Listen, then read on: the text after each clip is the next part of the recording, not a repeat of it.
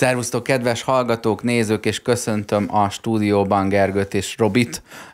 Gergő lassan már állandó vendég lesz itt, uh-huh. de ez azért van, mert hogy ismét egy nagyon érdekes, izgalmas, sőt, kellemetlenül szexi témával fogunk mhm. foglalkozni a Direct One tartalomszolgáltató jóvoltából, aki a mai adásunknak is a fő támogatója nyilván.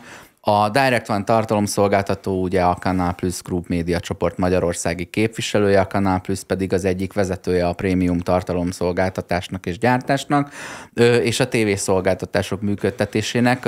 A streaming szolgáltatása, amelyen több európai sorozat és film elérhető, már egyre több piacon hozzáférhető, hamarosan hozzánk is megérkezik ezen a néven is.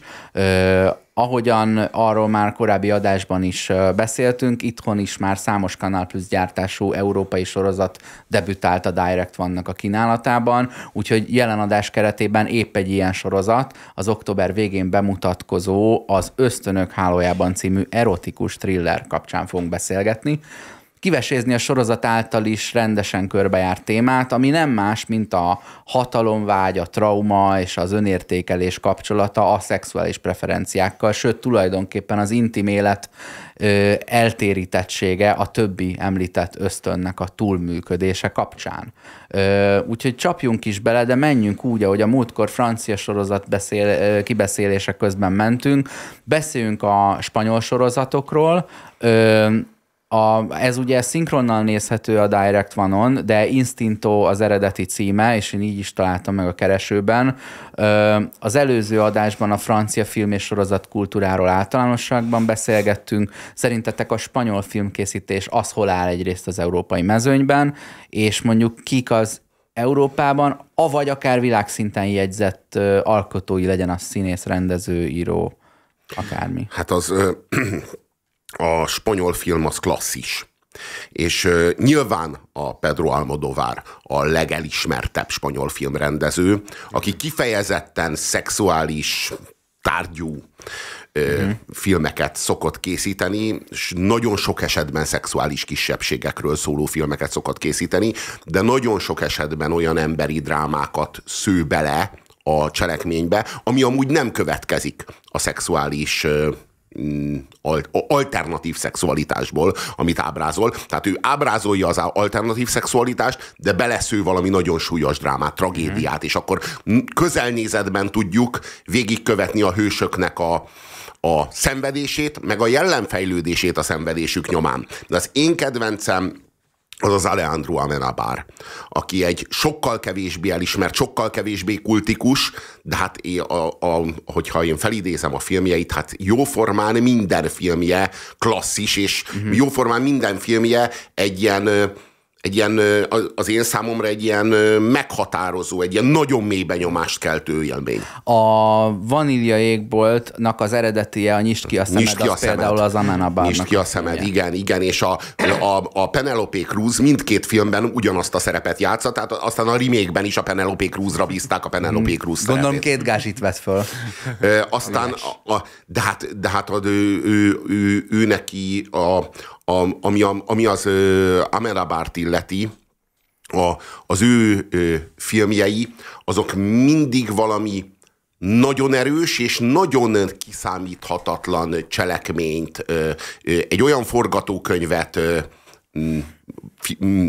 mutatnak fel, vagy filmesítenek meg, amelyek, amelyek nem, nem hordoznak olyan kliséket, mint amilyen az Almodovár. Az Almodovár az klisékből rakja össze magát. És az Almodovár film, egy, hmm. ha elolvasod három mondatban a filmnek a cselekményét, abból már meg tudod mondani, hogy Álmodovár filme. Igen. Mert hogyha transzexuális van benne, vagy egy anya, akinek meghal a gyereke, vagy, vagy fogyatékos, akivel, akivel össze van zárva, zárva az anyja, a felesége, stb. Tehát, hogy az ilyen nagyon-nagyon súlyos drámák és szexuális uh-huh. ö, Mm, hogy mondjam, alternatív szexualitás, keresem a PC kifejezést erre Igen, de lehet, hogy, hogy nem egy saját magadból fakadó szexuális preferencia, hanem egy traumából következő szexuális viselkedéstan lesz ez, és mondjuk a rossz nevelés az ilyen.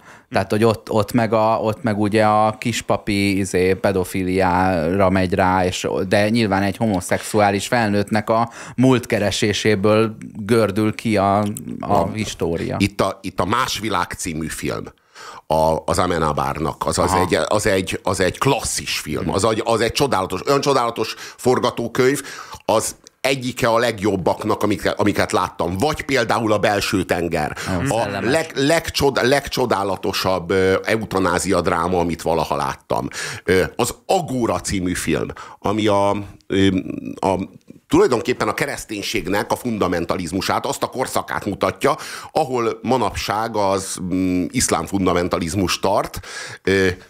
A kereszténységnek is megvolt ez a korszaka, ez a, ez a fanatizmusa, amikor a, hát tulajdonképpen az antik örökség lerombolása és felégetése a filmnek a cselekménye. Hmm. Um, én változatlanul, ahogy az előző epizódban, itt is egy kicsit bizonytalan vagyok, mert az európai filmezéshez annyira nem értek, miután elhagytam a bölcsészkát és a filmtörténelm órát. Viszont az kétségtelen, hogy Buñuel az nekem örökké az egyik legfontosabb ember és név Akit lesz én a múltkor a Franciaországban gyártott filmei miatt a fa- francia filmkészítők között is felsoroltam, de nemzetisége szerint meg akkor itt kell megemlíteni. E, pont ezt akartam mondani, hogy technikailag egyébként ő egy nagyon sok ide, ide-oda tartozó filmkészítő, viszont a, ő mentette meg az életemet, mert annak idején, amikor bementem emelt szintű magyar érettségire, akkor teljes mértékben képtelen voltam a tételek felét megtanulni. Egy darab médiatétel volt, mert akkoriban még olyan szinten nem számított, a, már nem tudom, hogy most mennyire számít, de akkor nagyon nem számított a média ismeret érettségi hmm. szinten, és egy darab médiatétel volt a Bünyel, és úgy kihúztam, mint senki soha, le kellett ülni az andalúziai kutyát elemezni, arról írni valamit, elmondani, fan, olyan ötös kaptam, hogy az, az lábom nem érte a földet. Ha kifelé. bármi, ha, ha csak egy fikarcnyi értelme volt az ő munkásságának, akkor az most, arra most fény derült. Úgyhogy úgy, akarom is neki mondani, hogy tudom, hogy néz minket, nagyon-nagyon köszönöm, tehát ez, ez, ez nagyon-nagyon sokat segített. Emellett egyébként kicsit így párhuzamba állítva a francia film, filmes világállapotával. Ugye múltkor arról beszéltünk, hogy a franciák mennyire imádják a franciákat. Nagyon-nagyon erős a belső filmpiacuk. Na, a spanyoloknál ennek a szöges ellentéte van. Rendszeresen évről évre tartja a spanyol ö, vezetés a különböző kulturális ö, programokat és, és küldetéseket, hogy valahogyan visszaédesgetje, visszaédesgesse a spanyolokat a moziba uh-huh. spanyol filmeket nézni. Állatira nem megy, borzasztóan gyenge most a belső gyártásuk, és ennek egy csomó szempontból egyébként történelmi oka is van, tehát hogy azért a, a polgárháború óta, tehát a 30-as évek óta a, a spanyoloknál a mozi és a politika az, az nagyon keményen összekapcsolódik. Tehát amikor megtörtént a polgárháború, felégették a néma filmeknek, celluloidoknak a java részét, utána mind a két fél az propagandára használta a filmezést éveken keresztül. Már száz évvel ezelőtt nem lehet keresni valaminek a jelenleg is erős okát, meg én azt a visszagyengülést valamihez képest észre tudnám venni, de mondjuk a, mondjuk a nagy pénzrablás, mint sorozat az óriásit ment a streaming felületeken, ami nem tudom, négy évadot megélt, ez a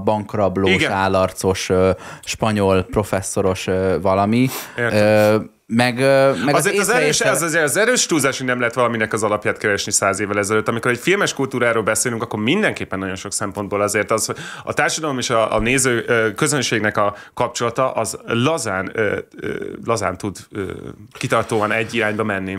Érdemes még megemlíteni Guillermo del toro mm-hmm. aki a faun labirintusával mm-hmm. valami nagy, nagyszerűt, valami csodálatosat, valami hatalmasat alkotott, és aztán el elkezdtünk nem kevesen hinni a Guillermo del Toróban, hogy ő akkor egy nagy művész, és aztán jöttek az, ilyen, jöttek az ilyen, igen? Aha. Aha. Azt akartam mondani, hogy azért... De a, a saj... labirintusa viszont szerintem az egy ilyen spanyol-amerikai, mexikói ah, produkció. Koprodukció, az lehet? Igen, aha, igen. Az aha, lehet. aha. Csak ő is, meg ki volt az, az operatőr, aki szintén, ja Istenem, aki szintén Oscar-t vitt. Na mindegy, hogy a mexikóiak az utóbbi évben nagyon erősek Uh-huh. Na jó, de hát aztán ez a, ez a vízérintése, hát ez valami förtelmes volt. És akkor tudod a... Azóta akarom újra nézni, hát ha én tévedtem, az egy, az, nem tudom és, rávenni és, magam. és, hogy tudod, van, vannak ilyen alkotók, akik, a, akik alkotnak valami csodálatosat, valami tökéleteset, és csak azért lehetünk hálásak, hogy nem a film közben, vagy nem a film gyártása közben romlott el Guillermo del Toro, hanem két film között, és így lett egy nagyon jó filmje. Uh-huh. Hm. Abszolút. Ö, nyilván a színészek között is lehetne találni ö, említésre méltóakat, akik, ö, akik gyakorlatilag a világ hírig vitték. Javier tehát, Bardem. Igen, például Bardem, Javier vagy a Cruz, vagy a Banderas, de hát inkább sztárok. A Javier Bardem más minőség, mint a Antonio A Javier Bardem az, az minden szempontból tripla listás. Uh-huh. Színészi, tehát nyilván, nyilván hírnév, nemzetközi hírnévről is beszélünk, de színészi kvalitások terén abszolút, abszolút a tetőpontján van. Ja. Most Abszolút. az ösztönök hálójában fogunk beszélgetni, ami erotikus thrillerként pozícionálja talán magát, de szerintem meg inkább pszichológiai. Tehát, hogy ö, ö, nyilván vannak benne olyan jelenetek, amelyek ö, hát a szexről szólnak, vagy egy szexuális aktusról szólnak, Igen. de az indítatás az a legtöbbször a legtávolabb áll az intimitástól, és pont erről beszél a legtöbbet a sorozat, hogy milyen hiányosság, vagy milyen gyerekkori cselekmény, vagy milyen gyűlöletfaktor az, ami miatt az illető azzal a dologgal, ami ténylegesen a dolga nem küzd meg, hanem helyette elbábozza a probléma elfolytását, megoldását, vagy pótlékát a szexuális életében esetében legyen az a pszichológus nő, legyen az a feleség, a, a megcsaló férja, a törtető mérnöknő, a vállalatigazgató, vagy szinte akárki. Általánosan az erotika és a film kapcsolatával van egy olyan megfigyelésem, hogy így a szexfilmekben nincsen látható dráma, leg, leg, most már mostanra leginkább más ö, történet sem, mert már 6-10 percesre szorultak vissza ezek, viszont a drámákban meg nincs látható szex. Tehát, hogy ezt nagyon nehéz, vagy nagyon, talán fölösleges is egyébként mindkét feladatot elvégezni. A, ezt megcsinálta a, a Love című ö, filmben a, ki a visszafordíthatatlannak a rendezője, a Noé, Noé, Noé. Gaspar Noé. Gaspar Noé. De tök fölöslegesen, mert ettől még az nem egy szexfilm lett, hanem egy filmdráma, mert egy rettenetesen rossz döntés miatt egy embernek egy olyannal kell leélnie az életét, akiben nem szerelmes, míg ott van a szerelme. Igen. Tudod, hogy így az a helyes az a helyes döntés, és nagyon érdekes az a film, mert igazából nagyon grafikus szexuális jelenet van benne. Igen. Ha csak azt nézed meg, akkor olyan, mint a rákattintottál volna egy felnőtt weboldalra. Ha viszont az egész filmet végignézed, az a legszomorúbb jelenete a, a történetnek jóformán. Nekem nagyon súlyos problémám van az erotikus filmmel, ahogy van meg az erotikának, meg a szexualitásnak a tömegkultúrában reprezentált helyével és szerepével. Hmm. Én azt hiszem, hogy ez a vágy titokzatos tárgyával indult el. Ez a, ez a félreértése, vagy félreértelmezése a szexnek, vagy ez a, ez a mitizálása, ez a mítoszírás, vagy mítoszgyártás, mintha a néző nem ismerné a szexet, mintha nem tudná, hogy micsoda a szex. És körül van az egész így zsongva valami, valami ö, valami ö, így meg van rezgetve körülötte a levegő, uh-huh. mint hogyha a szex önmagában nem lenne elég. És a Madonna az gyakorlatilag a mhm. teljes pályafutását erre a mítoszírásra húzta fel, hogy a, tudod, Madonnával szexelni az ilyen über szex. Az a, az a szex a szexedik hatványon, az valami, valami különleges, mint hogyha a Madonna az nem csak egy nő lenne, olyan, mint bárki nem más. Nem tudod ezt, Robi, megítélni, amíg egy felkapaszkodott prolival nem, nem sikerült lefeküdnöd. De, tudod, Majd utána beszél. Tudod, és az a helyzet, hogy a szürke 50 árnyalata aztán ezt viszi tovább. Tulajdonképpen innen rugaszkodik el. A szürke 50 árnyalata már azt állítja, hogy ha egy szexuális bántalmazóval szexelsz, akkor az még szexebb lesz. Az, az Tudod, az az igazán szex. És hogy egyáltalán létezik az a referencia, létezik az a férfi, aki az éjszaka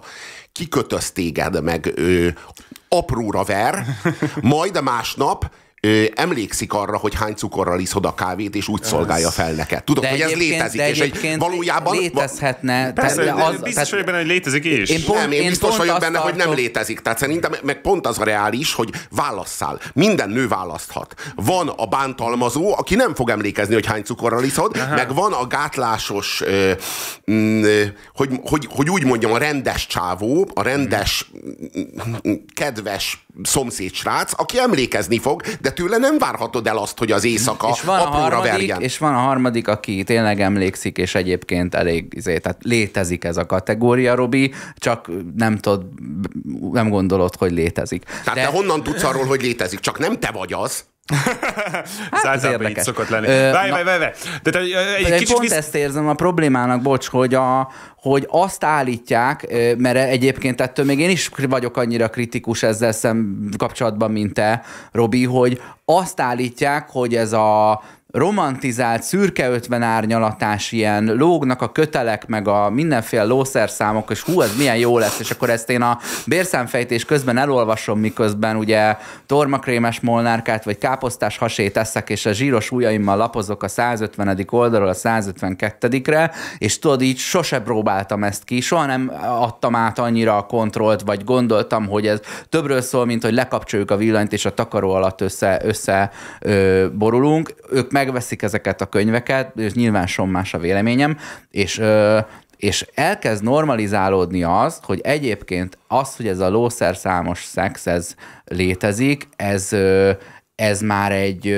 jóváhagyás arra, hogy a szexen, az ágyon, hálószobán, vagy a mindegy, a, a, a pályaudvar wc kívüli életben is így viselkedj a másikkal. Tehát, hogy van valami aláfölé rendeltségi viszony, hmm. ami ott egy picit elhatalmasodik, azt egy csomóan csak úgy tudják a, a hiéna taxis barátjukkal megélni, hogy a hiéna taxis az nem egy külön szerepet játszik a szex közben, hanem ő maga, és amikor a konyhában vannak, vagy egy vendégségben, vagy a ballagáson, ugyanolyan erőszakos, prostó módjára viselkedik, mint amikor eljátsza, hogy vissza minősül a, az ösztönvilágába, és leveszi a kultúra jelmezét, és egy picit felszabadul. És én itt a kettő között igenis ö, ugye te is látod a különbséget, csak te tagadod, hogy létezik ez a hibrid műfaj, már pedig szerintem, aki ténylegesen kontrollálja még saját magát is, és nem csak valaki mást akar kontrollálni, az igenis tud egyszerre figyelmes lenni, és egyszerre vad, de én az, a, a szürke 50-es csávóban nem látom, hogy olyan figyelmes volna, aki egy ilyen kizsákmányoló szerződést is köt arra, amit, amit tenni szeretne. Tudod, ha én szűzen láttam volna az elemi ösztönt, meg a szürke 50 árnyalatát, mint meg én. A Madonnának, meg, a Madon, meg a Madonnának az életművét. Aztán megtapasztalom a szexet, nagyon csalódott lettem volna. Mert ezek a filmek, meg ezek a kulturális termékek valami többet, valami, valami, valami bombasztikusabbat állítanak a szexről, mint ami a szex. Uh-huh. Le, én már nagyon rég akartam valamit mondani. Elnéz, én ez, ez a beszélgetés, ez unalmasan, una, ez a beszélgetés, ez unalmasan, hogy, hogy szoktam fogalmazni, unalmasan hetero vagyok. Tehát tudod, ez amikor én nem, nem, nem, nem járok ilyen klubokba, nem, nem tudom elmondani. Rajtad. Nézd, visszakanyarodnán ahhoz, ami, ami, ami ez az ösztönök hálójában akar mondani. Uh, amiről ti beszéltetek korábban, hogy, hogy, uh, hogy valami extra dolog lengi körbe a szexet, a, a, mint narratív eszközt a filmekben, az szerintem nagyon sok szempontból annak tudható be, hogy a filmeknek besorolása van. És onnantól kezdve, hogy mi uh, vizuálisan és, és, és jól láthatóan mutatjuk a szexet, ez egy egész, egész másik kategóriája lesz a közönségfilmek, vagy ugye általában moziknak gyártott filmeknek. Úgyhogy innen, innentől kezdve a, a szexet nem lehet csak úgy beletenni egy történetbe, mert az át, átszervezi az egésznek a publikálását, mm. a közönségét, a stb. Úgyhogy... De van egy ilyen, egy ilyen prüdériából épített fal is, mert hogy lehet, hogy 18-as karikával a Predátort azt le lehet adni a, a moziban, érted? Ah. Vér az ja, ja, ja. folyhat, de a, a, a, a szexet azt viszont a moziban sem. Tehát hogy a pornó az nincsen a moziban. Igen, igen. De tudom. ölés, meg tömeggyilkosság az meg lehet a moziban. Két emberből, a károsabb. Két, két emberből egy bármikor lehet a moziban, de két emberből három olyat nem ja. játszunk. Ja, ja, ja. Igen, igen, igen, igen. Pedig a nézőszám ugye növekedne. Igen. És én ezt egy amúgy borzasztóan gyűlölöm ezt a, ezt a megközelítését a szexnek, hogyha az, hogyha az benne van egy történetben, vagy benne van egy filmben, akkor az, az egy, ez egy szexes film, ahogy, ahogy beszéltük róla, ez egy ilyen erotikát tartalmazó film. A szex az egy borzasztóan, a, többihez képest szerintem teljes mértékben átlagos narratív eszköz, valami, ami két embernek a kapcsolatának a, egy, egy állomása, vagy egy eseménye, vagy egy választópontja, vagy egy törése, vagy stb. Tehát az ugyanúgy kéne tudni használni egy mondjuk egy romantikus filmben, mint egy bár, mint egy, egy veszekedés. Mint a Marriage Story-ban a veszekedés, azt szerintem legalább olyan, hogyha azért láttátok a nagy lezáró vitát, az legalább annyira intenzív és intim, és elviselhetetlenül erőszakos, mint mondjuk egy, egy durva izé, pinceszex, amit, amit ebben a sorozatban is láthatunk. Tehát ez engem azért zavar, ami, amiről Robi beszélt, hogy ennyire kiemelt kategóriába került ez a, ez a szex a, a film narratívájában, mert amúgy meg ez nem indokolt. Mm. Ez nem indokolt. Abszolút normális része az emberek életének, és így a, a filmeknek is a mhm. normális részének kéne. De ez a cellába zárás, vagy tabusítás, ez gyakorlatilag azt eredményezi, amit az elején is kifejeztem, hogy úgy tudjuk csak bemutatni az élet drámáit, a valós történeteket, hogy nem mutatjuk meg, hogy a szex hozzátartozik, hogy igenis az egyik csajodba azért szerettél bele, mert mm. olyan a szex, a másik meg annak ellenére szeretted, mert olyan volt, hogy ez igenis egy faktor, és ebből következnek dolgok dolgok, míg a, így a szex az egy olyan szamárpadba, büntető sarokba kényszerül, ahol meg ö, ahol meg létrejön az az iparág, ami meg teljesen kontextus nélkül ö, prezentálja azt, hogy a, a szex az micsoda, az, hogy megnyomod a play gombot, és már mindenki mesztelen, és nem beszélve, hogy olyan viszony van köztük, ahol eltűrnek az egyiktől, vagy a másiktól valamit, vagy ö, hajlandó akkor úgy, úgy megmutatkozni a másik előtt, amihez hónapok vagy évek kellenek, hogy egyébként így kialakuljon köztetek ez a konkrétan intimitás, hogy, hogy hiszel annyira magadban, hogy ha másik most lát, nem kinevetni fog érte, hanem szeretni. Érted? És így ez, ez, ez, hogy ez egy ilyen cellába van zárva, hogy ez így, így szeparálva van, ettől romlik az egész, és a, a végén, aki, aki későn érkezett a moziba, vagy a történelembe, és ma nyitja fel a, a szemét, és fölmegy az internetre, az azt hiszi, hogy akkor, ja, ez a szex, hogy 6 percig tart, és egyből mindenki mesztelen, akkor az első ember, akit ez... meglátok a sötét utcán, azzal én így fogok eljárni. És ez nagyon, nagyon érdekes, hogy a, a, ahogyan a szexet többnek mutatja, túl hangsúlyozza, túl fetisizálja a, a, a mozi, úgy a gyilkosságot, meg az emberülést, meg a halált, meg bagatelizálja, és trivializálja. Holott, holott az emberülésben, meg a halálban, abban mélységes dráma van, az nem egy prózai, az nem egy triviális, egy, egy, egy hétköznapi dolog, és ponteként mutatja, a szexualitás meg egy triviális, hétköznapi dolog, amit meg pont úgy mutat, mint valami, valami különös, valami, valami, valami, valami misztikus ö, ö, ö, aktust, ami hát nem az, nem az, tehát hazudik. Tehát ahogy hazudik az erőszakról, és hazudik a, a gyilkosságról, meg az ölésről, úgy hazudik, csak éppen ellentétes előjellel hazudik a szexről. Igen, és meglepő módon eszembe jutott most egy jó példa. Tudod, sorozatban mit csinált ezt jól? A trónok harca. A trónok harcában rendszeresen messzenek az emberek, meg szexelnek a sarokban, meg, és tudod, a mindig, hogy hú, hát ez mennyire, itt csak úgy péniszek mindenhol, pedig az egy sokkal reálisabb, átlagosabb igen, igen. A trónok, harca, a trónok harca aként kezeli a szexet, amilyen a szex. Nincs így fölfújva, meg fölhabosítva körülötte a levegő, hogy igen. hú, itt most meg, haj, micsoda, micsoda ösztönök, meg izzadság, az... tudod, és a feromonok. Ah, tudod, nincs ez az egész, hanem olyan prózai, amilyen. Igen. És miért ne lehetne aként mutatni, amilyen? Igen. És a e, kor, elképzelt korban végül is nem idegen az sem azért, ahogy a kis Joffrey királynak a szülei egymásra találtak, tehát azért ezt így, mm. azért, azért az ott egy kiemelkedően erős, erős szál, de minden esetre ilyen is volt. Egyébként a... De az is csak azért probléma egyébként, mert, mert az öröklés miatt ott komoly politikai viszálykodások lesznek. Tehát mindenki így húzza Család, a száját, főleg marad. az apuka húzza a száját, de nem az van, hogy ez mindenki teljesen össze van omolva ettől a dologtól, hiszen uralkodó családokban az ilyen dolgok bőven megtörténtek. Ez, ez nagyon kemény. A, a Róma című valakinek nem tetszett, de féle ö, sorozatban is elég Sose ö, elég, ö, hát eléggé helyet kap, hiszen a, csak ennyit szoktunk mondani, amikor valaki nem tudja eldönteni, hogy ö, ö, szőlőt tegyen ö, könyökölve, vagy szexeljen, hogy késő Róma, tudod, hogy ez a, azért ez egy ilyen hedonista ö, éra volt, úgyhogy miért ne hagyják ki a Róma polgárainak, meg a, meg a hadigépezetének a bemutatása közben, de a, a Banshee is ilyen volt, ahol meg ugye az ámis közösség, meg a kamus sheriff, aki bűnözőből illeszkedett be, a valamelyik Dán ö, színész játszik a, a, a sorozatban, de körülbelül már a második percben egy ö, kocsmáros nővel ö, szaporodik a főszereplőnk, csak hogy lássuk, hogy így mivel és kivel lesz dolgunk. Ö, voltak korábbi szereplői ugye itt a műfajnak, tudod, az Emmanuel az ilyen mm. emlékezetesnek gondoljuk. Ugye az elemi ösztönre ténylegesen úgy emlékszünk, hogy ú, á, ú ugye nekünk nyilván minket, minket a tinikorunkban talált Én meg imádom ez. a Verhovent, de az egy akkora blöff az a film, mint az állat.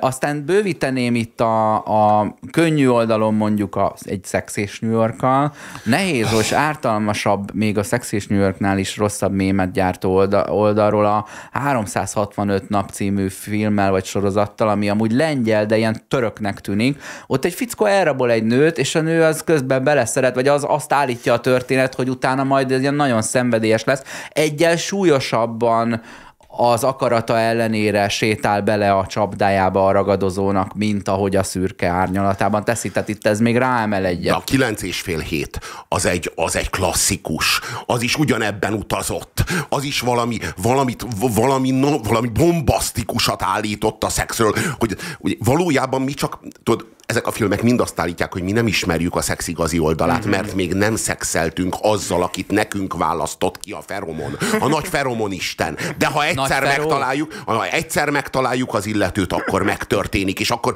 beleszünk avatva abba a szexualitás misztériumába. Mm, Tudod, csak még milyen nagyon különös, hogy egyikünk se találkozott még azzal, akivel a filmvásznon lépten nyomon.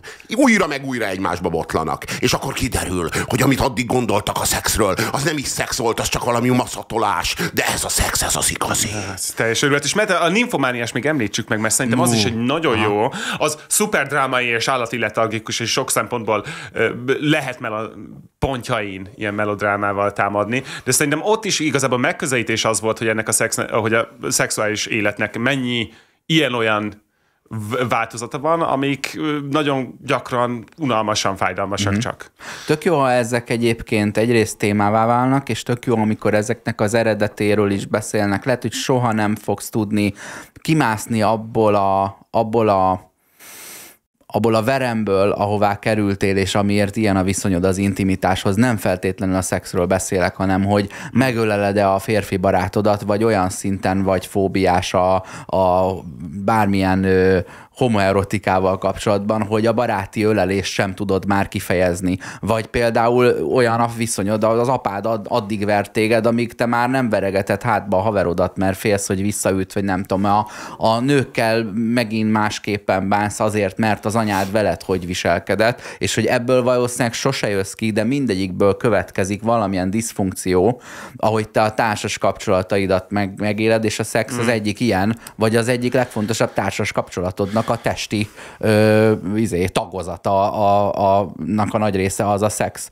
Úgyhogy ö, szerintem az tök jó, hogy az ösztönök hálójában foglalkozik ezzel is. Igen. Amíg ide nem kanyarodnánk be, azért még így a kedves oldalon a Sex Education megemlíteni, hogy azt szerintem az a lénynek se árt, vagy az kedves, és az Easy című sorozatot, ahol meg minden évadban ugyan, minden évadban ugyanazok a párok jelennek meg, de új, új szituációkban, és egy-egy epizódban három vagy négy ilyen pár szereplőre kitérnek, és akkor nyilván van egy évadra egy ilyen nagyobb ívű narratíva, aztán a következő évad már egy másik tematika. Szerintem az is egy ilyen érzékeny és ilyen kedves kedves valami, és nem olyan, mint ez, hogy az elrablomba bele kell szeresek, olyat még életedben nem szexeltél, mint az elrablóddal. Tehát, hogy ne, azért ne ez. ez Jamie Dornan, az, Dornan, szegény gyerek, igen. Hát, hogyha az elrabolod, biztos történik valami. Mi, mi a pszichológiája annak szerintetek, hogy így a, akár a szürke 50 árnyalata után ennyire népszerű ez a műfaj, akár könyv, bestseller, sorozat vagy film formájában vagy akár valaki kifejezetten erre a zsánerre függ rá. Hát ez kifejezetten női felhasználóknak készül. Tehát abszolút. Én, ne, nem, nem hiszem, hogy van olyan heteroszexuális férfi, aki ezt a fajta kultúrát élvezni tudja. Nekem volt egy darab ismerősöm volt. Egy, egy igen. De ő se így tálalta, úgyhogy igazából igen, elnézést, folytasd. igen, igen, ez, szóval, hogy, hogy ez, ez szerintem ez, ezek az ösztrogént megkötő filmek hmm. és kulturális termékek. Én, én most nem lennék olyan ö, terhelően elítélő, mint amikor a musical kapcsán fejtjük meg, hogy kik is hallgatják azt még izé, akárhány éves fejjel is, de azt gondolom, hogy lehet ha nem is nőileg, inkább érzékeny oldalról érdekes ez. A dacára annak, hogy néha nagyon zord karaktereket találunk ezekben a történetekben. Ugye egyszerűen a, a pornó műfajából hiányzik a történet, sőt, megszűnt a műfaj ugye ilyen 5-10 percekre, ö, ne, nem tudod, hogy ki mert van se, ott. Mert senki nem Szinte igény... annyit mert egy szereplő, percig, mint egy reklámnak a szereplője. egy percig nem igényelte soha senki, senki a történetet. És ezért aztán de hát, elmaradt de a hát történet, de, de valójában de hát nem de. volt rá szükség korábban sem. De hát de mert ö, hiányzik valami, lehet, hogy valaki nézi ezeket, annak a valóságából hiányzik a szex, és azért nézi, és akkor mindegy, hogy milyen, mármint hmm. ezeket, nem a pornót, hanem ezeket a történeteket, vagy, vagy olvassa a könyvet a metrón, vagy pedig egyszerűen azért így fér hozzá a fiktív erotikához, és nem egy 6 perces videó bejátszó formájában, mert hiányolja az elkötelezettségét, a sajátját, ami a karakterhez őt fűzi, és ehhez viszont föl kell építeni a történetet, és ez erre mondtam, Igen. hogy ilyen nőies és ér, érzelmes, hogy kell, hogy legyen köztünk valami, hogy érdekeljen a végén, hogy, hogy mit csinálsz szex közben, mert úgy, hogy így rádnyitok, mert megnyomtam egy háromszög alakú gombot, hmm. az nem lesz számomra értékes, amíg nem tudom, hogy ki vagy. Nézd, nézd nagyon leegyszerűsítve Nekem ez... érdekes az is, de de ez nekem diszfunkcióm. Tehát, hogy ezt is hmm. érdemes így érteni, hogy amúgy emberibb, humánusabb, az érzékenyebb, és egy úgy nőiesnek titulált álláspont. Nézd, ahogy nagyon egyszerű, meg rengeteg már felmérték, ahogy a való életben a szexuális aktusban a nőknek sokkal fontosabb az atmoszféra, a hangulat, az előjáték, a stb. Az egésznek a, a szexuális aktusnak a körítése fontosabb, mint egy férfinek, mint az átlagos férfinek. Ugyanúgy ez szerintem a, a, a vizuális médiumokban is ugyanígy van, hogy ez a fajta fajta erotikus tartalom, és az ezzel együtt járó üzenetek, ezeknek kell egy olyan körítés, amit egy sorozat meg tud adni, és valószínűleg ezért imponál jobban a nőknek ez a fajta tartalom, mint a férfiaknak. Uh-huh. A nők nem a látványtól indulnak be. Igen. És minél nyersebb és minél közönségesebb a dolog, a nők annál inkább lecsúsznak a szexről. Uh-huh. A csávók meg annál inkább fel, fel, fel. Tehát a, a, a férfiak azok a látványtól indulnak be. A, tulajdonképpen az ideális film az sötétben játszódna, mert a nők igazából mindig, mindig lekapcsolják a, a, a villanyt a szexhez, a csávók azok, akik felkapcsolják, csávók azok, akiknek szükségük van a össze azt, hogy látni nem akar valaki, vagy látszódni. De, de ott valójában arról van szó, hogy amikor ő lekapcsolja a villanyt, lehet, hogy látszódni nem akar, de leginkább az összes többi érzékét akarja koncentráltabbá tenni azáltal, hogy lekapcsolja a villanyt. Nem feltétlenül arról szól a dolog, hogy gátlás. Legalább öt gátlásos a lehet erre, de adom, de most nagyot általánosítottunk, de Nagyon. egyébként ez se, de, azért segít navigálni. És szóval arról van szó, hogy a nő sokkal inkább indul be a szex körítésétől, nem magától a nyers szextől. Mm. Hogy a magát a nyers szexet önmagában mutatod egy nőnek, az nem lát mást, mint ilyen szerveket mozogni, amiben semmi erotika nincs. Tehát a nőnek szüksége van az erotikára. A csávónak sokkal kevesebb erotikára van szüksége, és sokkal inkább a szervekre, a szervek látványára van szüksége. Van egy buddhista meditáció a belső szervekkel kapcsolatban, ami elvileg téged az érzéki testi vágyakról kellene tudjon lehozni. Ez elkezdődik, hogy általában is a testről úgy szoktak először beszélni, hogy megnevezik a, a fejen azokat az érzékszerveket, amik a testi érzékekkel a megfelelő sorrendben, tudod, az orral kezdődik, mert a szaglással kezdődik, amúgy rendszertörténetileg is ez fejlődött ki először, mint érzékszerv, és akkor megy tovább az ízzel, meg a hangokkal, meg a végül a látással, és akkor végül a tudattal, de amikor a, ez a meditáció ez felmerül, 32 belső szervet neveznek meg, viszonylag undorító, hogy ezek tudod, hogy ha ezt mondjuk valamire mondod, hogy hogy milyen volt a film, hm, hányás. Akkor tudod, így mint egy ilyen minősítő jelző, nem szép, de ahogy felsorolod, ugye minden ember belül ilyen, tudod, ilyen vérből, meg ilyen nyálkákból áll, és ez a, de csontokból Újság. is, ami semmi undorított nem látok a csontban, de a 32 között pár undorított találsz. Hmm. És egyszer csak így ők ez, azzal a célral teszik ezt, hogy a test az átváltozzon számodra azzal, hogy az előbb fogalmaztál, hogy ő ott testrészeket lát mozogni, és nem, nem jelent számára az semmi szépet, és egyre inkább egyformává válik a kettőnknek a teste, hogy a belsejét nézzük. Egyébként én sebésztől hmm. is hallottam már, nem csak buddhistát, Arisztától ezt a megnyilvánulást, hogy amint felnyitnak egy testet, gyógyítás céljából nyilván, annyira hasonlatosak belül, és ugye belül több van, mint kívül, mi mégis mindenkit a bőr, az első, a, a, a halott ö, testrészek alapján ítélünk meg. Tehát halott a körmöd, halott a hajad, halott a legkülső hámló bőrfelületed, a, minden, ami látszik, a, a fogadban csak az idegek azok, amik élők, és nem élő a fogad, és ez az, amiben beleszeretsz. Tehát ez az a formai dolog, amit te látsz a másik emberen, és így kvázi vonzódsz hozzá. Nem, ritka, nem ritka, hogy a csajok még a maszturbáláshoz is illatgyertyát gyújtanak. A laptopjától elvárja, hogy azért, hát ha vacsorázni nem is viszi el, de egy kicsit csábítsa el. Mondjon neki néhány szépet, meg egy kicsit bókoljon, hogy egyáltalán a dolog el, el tudjon indulni. Hát ezekre, ne, ezekre neki szüksége van. És a csávokkal meg úgy van, hogy mire meggyújtja az illatgyertyát a csaj, meg mire, tudod, berendezi azokat a körülményeket, ő már kétszer elment. És köszöni mm. szépen már a fal felé fordult. Ez egyszerűen mások az igények, és nagyjából arról van szó, hogy a férfiaknak meg kell tanulniuk az erotikát, a nőknek meg meg kell tanulniuk ezt a, hát ezt a nyers, sokkal mm. inkább ezt a szervi, pont azért, hogy a, a, a nőnek is bizonyos gesztusokat kell tenni a férfi szexualitása felé, hogy a férfinak jó legyen, mm. és a férfinak is bizonyos gesztusokat kell a nő szexualitása felé tenni, hogy a nő is élvezni tudja. Próbálkoznak szerintem férfiak ezzel az illatgyártyás izével, de a BKV ellenőrök olyankor ledobják őket a szerelvényről.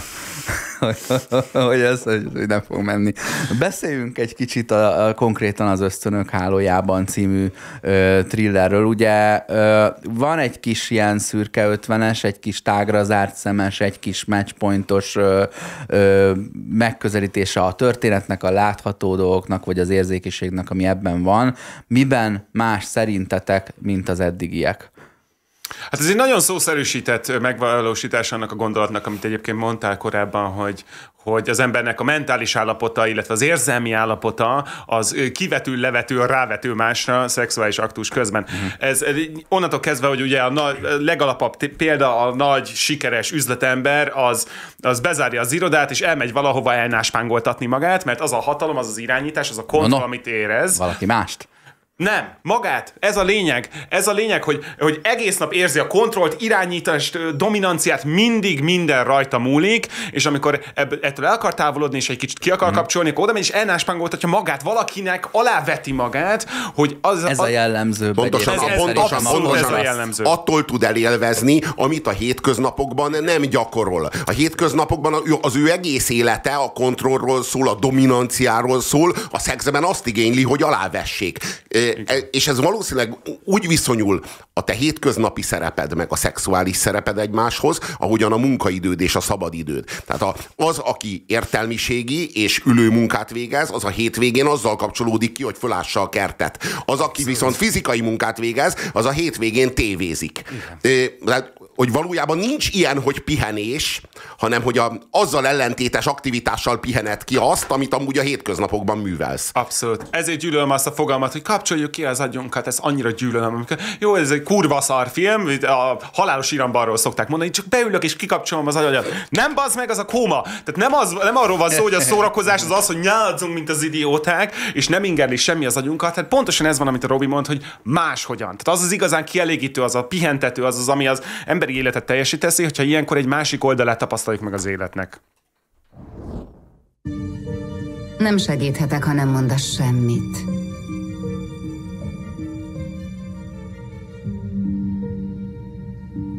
Vár a következő páciens. Fontos értekezletem van. Ennél nem lehet fontosabb. Márko, segíteni szeretnék. De először be kell ismerned, hogy problémád van. Kedden, ebben az időben. Nem kell várnod keddig, bármikor felhívhatsz telefonon is. Sok sikert az előadáshoz! Múltkor is éjjel egy órakor beszéltél egy beteggel. Tisztában vagyok vele. A múltkor is éjjel egy órakor láttál el egy beteget. Ő Márkó. Tegnap nem beszéltem vele. Kérlek, neved fel. Biztos, hogy szüksége van rám. Ne haragudj. Márko, mi történt? Márko? Márko?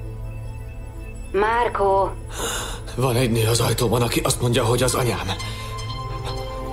Mit jelent anyának lenni? Márko, gyere be a rendelőmbe, így nem tudok segíteni. Akkor felejtsd el! Ne, Márko, ne tedd le, várj! Talán van okod arra, hogy most éppen így érzel, de a legfontosabb, hogy próbálj meg tovább lépni. Ezért hívtál tegnap is.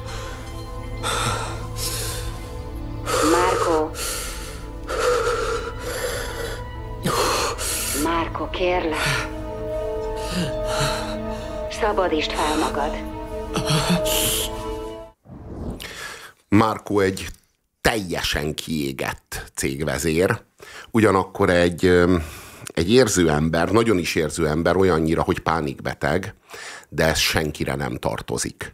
Az életének minden területét olyan mértékben dominálja, és olyan érzéketlenséggel vesz részt a saját életében, a saját hétköznapjaiban, a terapeutáját is úgy dominálja, ahogyan az ember hát azt gondolná, hogy ha valaki igazán nagy bajban van, az nem arra figyel, hogy a terapeutáját csicskítsa de hogy ő egész nap ebben a csicskítás módban van, és ő nem tud beteggé válni csak arra az egy órára, amikor az orvosánál van. Az orvosa abból tudja, hogy ő segítségre szorul, hogy eljött az órára. De ott aztán abban semmiféle gyengeség nem fér bele. És ilyen módon nehéz is az ilyen embernek segíteni, hiszen a saját gyengeségéhez fűződő viszonya nincs rendben. Érdekes a, azt hiszem a, a különböző ösztönök, amikből itt szexmutatvány lesz, az a traumás félelem, és ez az anyu, anyukához kapcsolódik látszólag a filmben. A bizonyítás, vagy erre való kényszer, a lázadás, a kapzsiság, a társasági dominancia, a bosszú, a hatalomvágy, aztán azt hiszem utolsó sorban a testi vágy az, amiből itt ö, ö, szexjelenet lesz. Ö, folyamatosan feszegetik a diszfunkcióknak az okait. A férfi esetében a szülő bántalmazásának a szemtanúja, vagy valami hasonló, a, vagy egy közbelépés résztvevője, és innen származó trauma. Ö, női szereplő esetében egy bigott túlszabályozott gyerekkor, amiből egy lázadás jön elő, vagy a magas elvárások mások, ami, amit egy ideig teljesítesz, és ahogy fel, tudod, nő az egyenleged, ahogy végig teljesíted, amit nem akartál, és egyszer csak így bebankolod. Egyszer csak azt mondod, hogy na jó, akkor most viszont jön az izé a széttetoválom magam, és elmegyek külföldre. Ö, és a, még a pszichológus nő is ö, ö, azt szerint viselkedik, hogy őt nem kívánják, ezért önértékelést keres, és ő is pontosan ugyanúgy eljár egy ilyen tágra zárt buliba, mint, a, mint az ügyfele. Nem tudom egyébként, hogy ezt azt hiszem nem derül ki, hogy ezt tudják-e egymásról. Sőt, nagyon érdekes, hogy a két cégvezető férfi, ez ilyen tech cég körül zajlik a történet, az egyikük az ö, kvázi ö, ö, ö, felülrendeltnek jár el szórakozni idegenekkel, míg a másik alárendeltként szórakozik, de még az ő, ő az egyetlen, a szerelmes, a fellángolásban ö, elbotló másik cégvezető, aki aljas módon bánik el a feleségével egy ilyen fellángolás közben, de ő az egyetlen, akinek intim, kap, tényleges kapcsolatai vannak egy-egy nővel. Tehát ő az, aki hmm. tényleg egyfajta érzelmi, vonzalmi ö, viszony ként értékelhető, ahogy mozog itt a, az ösztönök hálójában, és nem pedig valami teljesen kispados tök más dolog miatt éli ki valami hiány, tudod, hiányát egy szexuális aktusban, vagy valamilyen viszonyban. Igen, ez nagyon érdekes volt abban a listában, amit felsoroltál, hogyha, hogyha visszahallgatják a nézők, mindegyik múltbéli trauma, az valahogyan a kontrollvesztés, a túlzott kontrollálás, és a ilyen kontroll vagy olyan kontroll köré épül. Tehát ilyen szempontból relatíve egyszerű a pszichológiai felállítása, tehát mindenkinek a végtelen siker és csillag, és mindenki gyönyörű, és mindenki, mindenkinek megvannak a lehetőségei, de valahol valamelyik aspektusában az életében nincs kontroll, vagy nem tudott kontrollt szerezni, vagy mások kontrollálták, és akkor ennek valahogy próbál gyógyírt találni ebben, a, ebben az egész dologban. És nagyon jó, hogy ezt a distinkciót felhoztad, mert igazából ez a fontos tanulság, hogy ezek a fajta lelki görcsökön alapuló intim kapcsolódások, ez, ez, ez nem az a fajta intimitás, amit, amit alapnak veszünk meg, ami igazából ö, hosszú távon értékes lehet, vagy egy kapcsolatot jobbá tud tenni, mert ott nem, nem egy, egyfajta közeledés van két emberi test és lélek között, hanem különböző fantáziákat élünk ki, amivel próbáljuk a sebeinket begyógyítani. Meg hát miféle intimitás lehetséges, amit maszkban végzel. Ja. Ja, ja. Tehát a, pont a De maszk, ő nem is ezt keresi. De pont, pont a maszk, hát ez az, nem, nem hogy nem keresi, el akarja kerülni Igen. minden áron. És pont a maszk biztosítja azt, hogy itt intimitás nem lesz.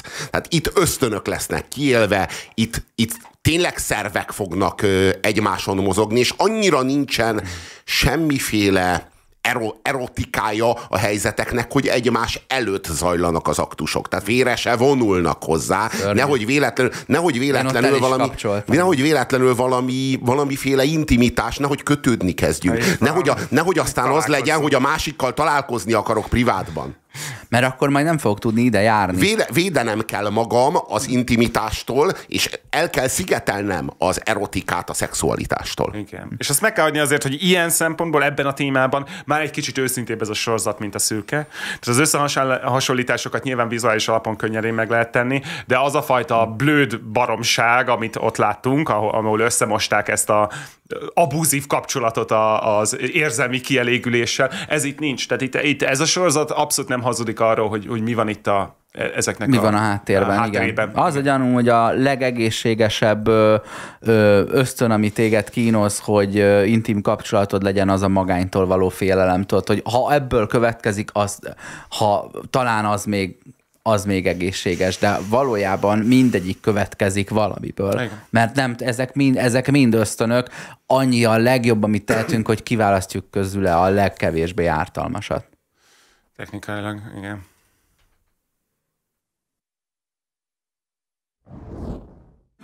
Hozé, valaki jött hozzád. Károl, úgyse találsz meg! Hozé, gyere elő! Nézd, ki van itt! Károl! Hozé! Márkó! Itt van Márkó! Itt van Márkó! Károl! Itt van Márkó! Boldog születésnapot! Károl, itt van Márkó! Itt van Márkó! Örvendek Károl vagyok. Én foglalkozom Hozéval. Márkó Mór.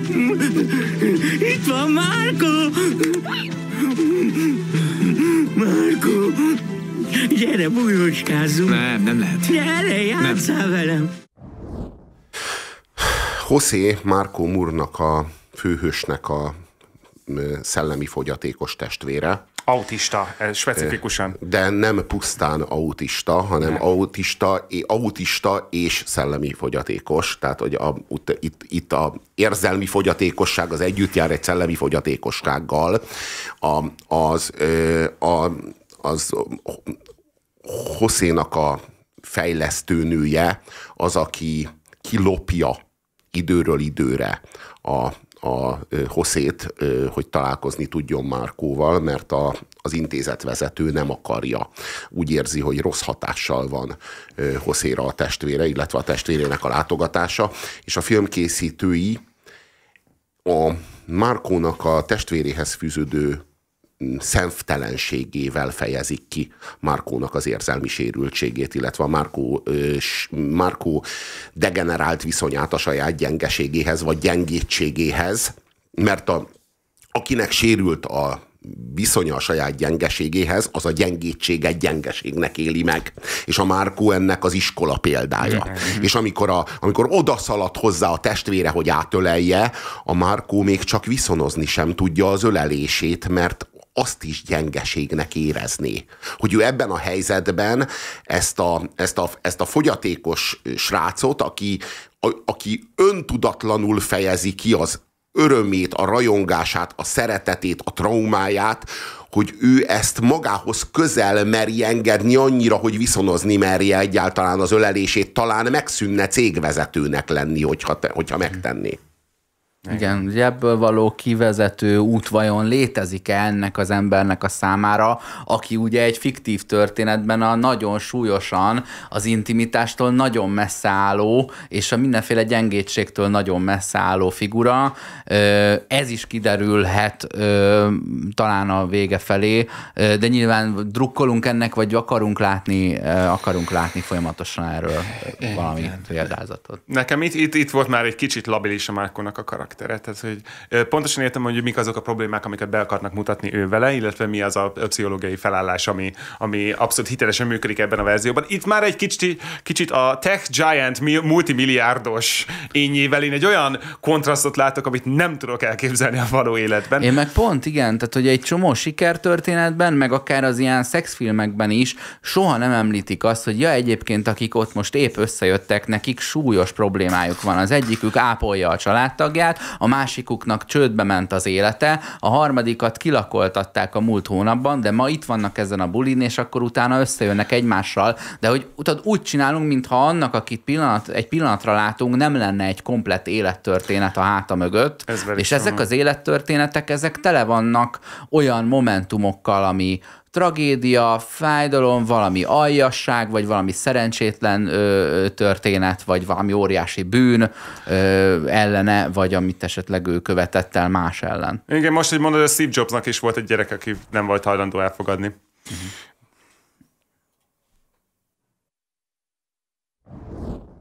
Te lefekszel ezzel a nővel.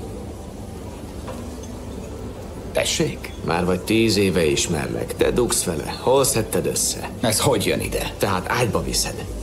Mikor akartad elmondani?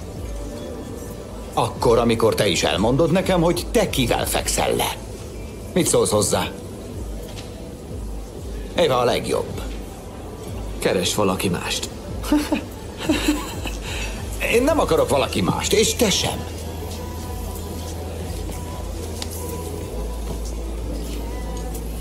Eve a legjobb dolog az életemben.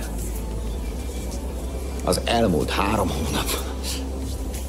Mint egy erotikus álom. Hogy működhet ez, ha Barbara is a cégnél van? Úgyse fog rájönni. Én ebben nem veszek részt. Én sem. Akkor előbb szakíts vele. Végeztem. Márkó cégtársa Diego, akire hát nagy ez a kabát, ami a Márkóra pont passzol, és a Diego érzékeli ezt, hogy a Márkó cégvezetőbb, mint ő, hogy a Márkónak az egója, a Márkónak a sérültsége, és ezáltal a, az érzéketlensége valahogy cégvezérebbé teszi őt, mint amilyen Diego. És Diego bele szeretne nőni ebbe a kabátba, és annyira imponál neki az érzéketlenség, hogy kvázi pszichopatizálja magát, kvázi mm, egy elképzel a fejében egy áloméletet, hogyan él az a cégvezető, aki egy ekkora céget vezet, aki kiérdemli azt a társadalmi státuszt, amit ő nem tud kitölteni a lényével, nem tud magára alanyként gondolni, mint akinek egyszerűen annyi a dolga, hogy boldog legyen és a saját igényeit kövesse. Ő neki a fejében lévő ábrándot, az áloméletet kell élnie, és akkor ehhez szüksége van egy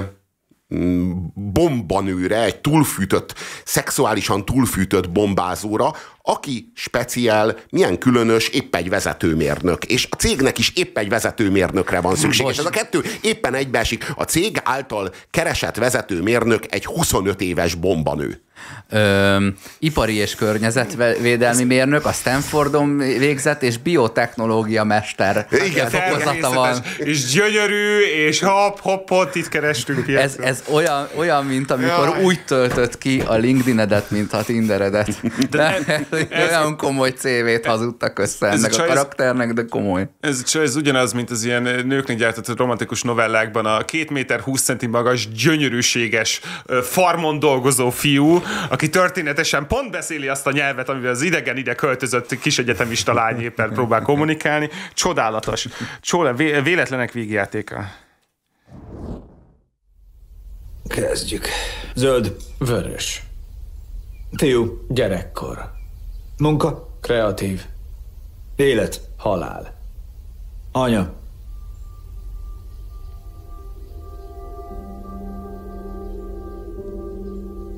Anya.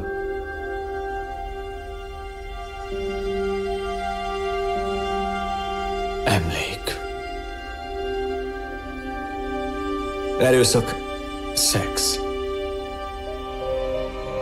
Szerelem. Fájdalom. Pénz. Hatalom. Vér.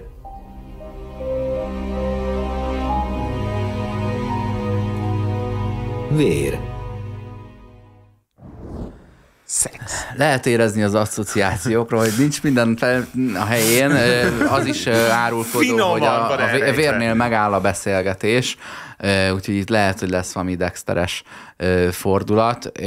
Az anyukának a castingja egyébként csodálatos, tehát igyekeztek ilyen jóképű, vagy jól öltözködő, vagy szépbőrű, kicsit ilyen modellszerű karaktereket állítani, ha már itt a testiséget is látni kell. A, a Márko az mindjárt az első pár képsorban úgy befordul úgy a sarokban, hogy azért megadod a tiszteletet, nem tudom, a lovardába vagy-e, vagy nem mindegy. Szóval a, a, ehhez képest az anyja, egyrészt jól játsza ezt a kicsit ostoba fejet, amikor úgy nem tudja, mi van, mert nem, nem annyira nevelt, nem annyira szocializált ahhoz, hogy a neki most odamért nehéz helyzeteket ilyen diplomatikusan kezelje, az öltözködése, a pénzes prolisága, amikor a fia kicsit kitömi őt lóvéval, a barátai és azoknak a mellette való kitartása pontosan olyanok, mint ami ilyennek képzelek egy ilyen ö, rossz sorsra jutott és rossz vágányra futott ö, ö, életet, és nagyon, tehát nem, nem, nem tudom, egy másik minőség a, a nő, abban az értelemben is, ahogy kinéz, amilyen színész, amilyen színészi feladatokat ő emiatt ö, jobban kell álljon, mint az egyébként jóképű vagy szép ö, színészek. Szerintem nagyon jó, nagyon jó választás volt, és nehéz az ő története, mert egyrészt, amit látunk, és előttünk zajlik a sorozatban, az is nehéz, és ahogy így kibomlik, hogy amit, amit nem mutat be az idővonala a sorozatnak, az vajon hogyan történhetett, úgy meg, úgy meg még nehezebbé teszi, teszi az életet a színész számára ebben a karakterben, és ez szerintem nagyon jól Hm. Hozza, tehát az ösztönök hálójáról beszélgetünk. Október végén mutatkozik be a Direct Now alkalmazásban, bárhonnan és bármikor elérhető, szóval aki kedvet kapott hozzá, az fizessen elő a Direct One szolgáltatásra, hol a directone.hu per csatorna kiosztás per Direct One csatorna oldalon. Az ösztönök hálójában mellett egyébként további európai Kanal Plus gyártású sorozatok és olyan thrillerek is streamelhetők a Direct One kínálatában, mint a Vörös Ajtó, a Brigád, a Lánya Ködben, vagy éppen a Démoni Meg- Megszállottság. Én köszönöm szépen, hogy kibírtátok velünk ezt a beszélgetést az erotika és a dráma határmesdjéjén. Köszönöm Szirmai Gergőnek, Puzsér Robinak a részvételét ebben. Én Horváth Oszkár vagyok, ez pedig az önkényes mérvadók külön kiadása volt. Sziasztok!